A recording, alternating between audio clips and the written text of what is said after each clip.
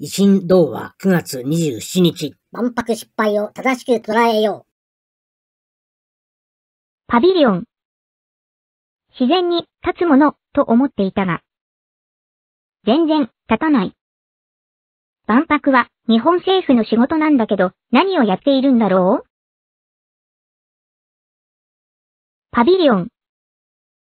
自然に立つものと思っていたが、全然立たない。万博は日本政府の仕事なんだけど何をやっているんだろう？パビリオン、いつまで待ったらできるの？もう秋になっちゃう。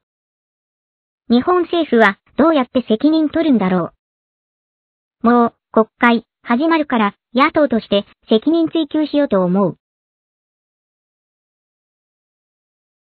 秋が来るぞ。落ち葉だ。落ち葉がすごい。会場、落ち葉で埋まっちゃう。